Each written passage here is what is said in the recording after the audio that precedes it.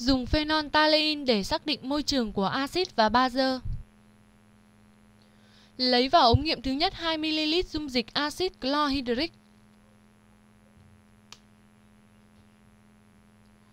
Lấy vào ống nghiệm thứ hai 2ml dung dịch natri hydroxit.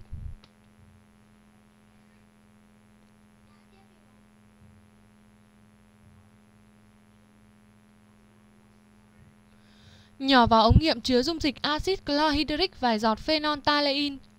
Không có hiện tượng gì xảy ra. Nhỏ vào ống nghiệm chứa dung dịch natri hydroxit vài giọt phenolphthalein. Ngay lập tức dung dịch chuyển sang màu hồng. Như vậy, phenolphthalein không màu trong môi trường axit và có màu hồng trong môi trường bazơ.